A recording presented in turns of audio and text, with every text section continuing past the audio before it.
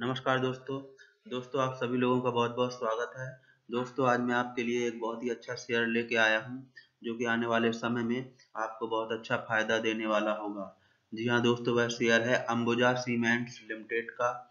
दोस्तों, Ambuja cements limited का share 10 फरवरी को तीन सौ साठ दशमलव पचास पर बंद हुआ है। दोस्तों, अगर आप लोग चाहें तो अभी इसमें इन्वेस्टमेंट कर सकते हैं पोजीशन बना सकते हैं। दोस्तों, अंबुजा सीमेंट्स लिमिटेड की बात की जाए तो यह बिल्डिंग मटेरियल्स इंडस्ट्री से रिलेटेड है। इसकी स्थापना उन्नीस सौ तिरासी में हुई थी। इसका हेडक्वार्टर मुंबई, महाराष्ट्र में है। इसके प्रोडक्ट्स की बात की जाए तो यह सीमेंट बनाती है। और इसमें नंबर ऑफ़ एम्प्लॉय की बात की जाए तो चार हज़ार से भी ज़्यादा एम्प्लॉय इसमें काम करते हैं। और दोस्तों, अभी ये अडानी ग्रुप की कंपनी बन चुकी है। अडानी ने इसको टेक ओवर किया हुआ है। तो ये पूरी तरीके से कहा जा सकता है कि अडानी ग्रुप का ही कंपनी है। जैसा कि आप सभी लोग जानते हैं कि इसने जो हाई लगाया हुआ है 25 नवंबर 2022 को इसने हाई लगाया हुआ है पाँच रुपए का।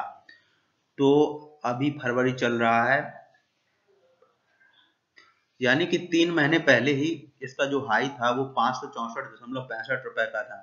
जैसा कि हिंडनबर्ग की जो रिपोर्ट है अमेरिकन रिसर्च कंपनी है, उसने जो खुलासे किए कि अडानी ग्रुप किस तरीके से विदेशी कंपनियों में पैसा लगाता है, फिर वो कंपनियाँ शेयर खरीदती हैं तो इसका प्राइस ऊपर जा रहा है। अब ये सच है या झूठ? इसका उस कारण से जो आरोप लगाए गए हैं उस कारण से इसके शेयर प्राइस नीचे आ गया है, नहीं तो ये अभी 500 के ऊपर ही आपको दिखता। तो वो दोस्तों उनकी अडानी ग्रुप और हिंडनबर्ग के बीच लीगल फाइट चल रही है। देखते हैं कौन विन होता है, कौन सच्चा निकलता है, कौन झूठ निकलता है। लेकिन इस कारण से शेयर प्राइस में प्रेशर आ गया है और लोग घबरा कर निकल रहे हैं। इसी कारण से इसका प्राइस अभी तीन सौ साठ दशमलव पचास रुपए चल रहा है। और जैसा कि अभी इसका जो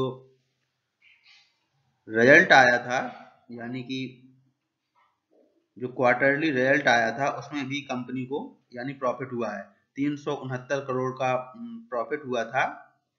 अभी और पिछली बार दो सौ बावन करोड़ का था तो प्रॉफिट में भी जंप मारा है इसने।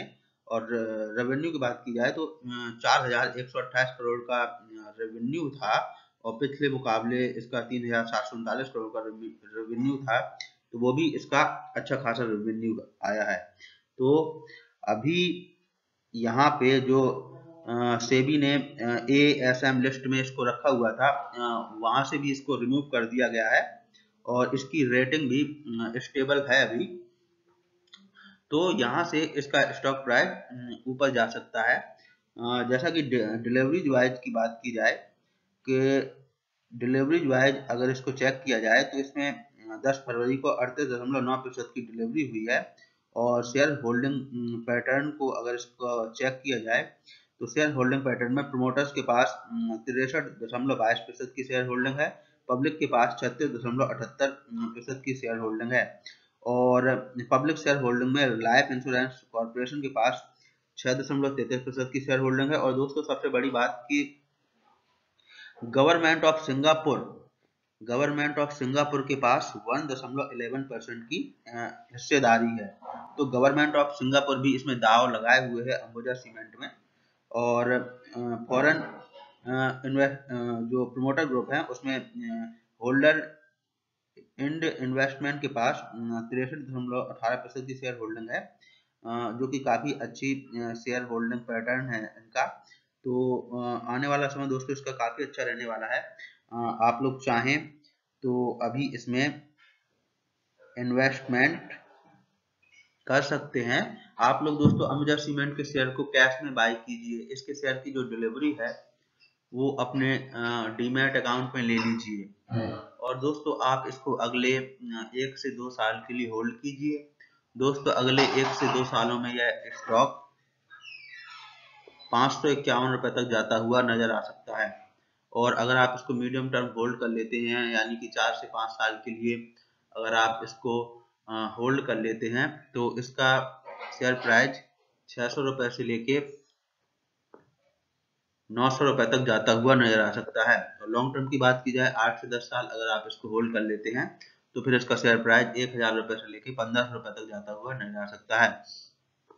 तो दोस्तों, आप लोग चाहें तो short term medium term long term जिस तरीके का भी इन्वेस्टमेंट करना चाहें, वैसा आप लोग इसमें इन्वेस्टमेंट कर सकते हैं पोजीशन बना सकते हैं, क्योंकि चार्ट में आप लोग देख सकते हैं इसने जो हाई लगाया हुआ है, पच्चीस नवंबर 2022 को पाँच सौ चौसठ दशमलव पैंसठ रुपए का अभी यहाँ पे काफ़ी सस्ते रेट पर ये मिल रहा है।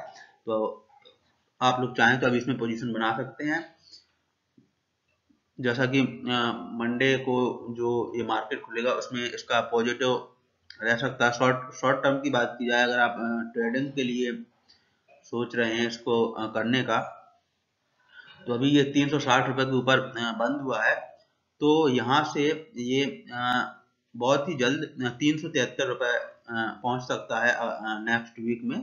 तीन सौ तिहत्तर रुपए तक ये जा सकता है शॉर्ट टर्म में, बहुत ही जल्द। तो आप लोग चाहें तो अभी पोजीशन बना सकते हैं और इन्वेस्टमेंट कर सकते हैं और अच्छा मुनाफा कमा सकते हैं। दोस्तों, अगर आप लोगों ने अभी तक मेरा यूट्यूब चैनल सब्सक्राइब नहीं किया है तो आप सभी लोग अभी मेरा यूट्यूब चैनल सब्सक्राइब कर लीजिए, क्योंकि मैं बहुत ही जल्द एक नए शेयर का वीडियो लेकर आऊँगा, जो कि आप सभी लोगों के लिए और भी अच्छा फ़ायदा देने वाला होगा।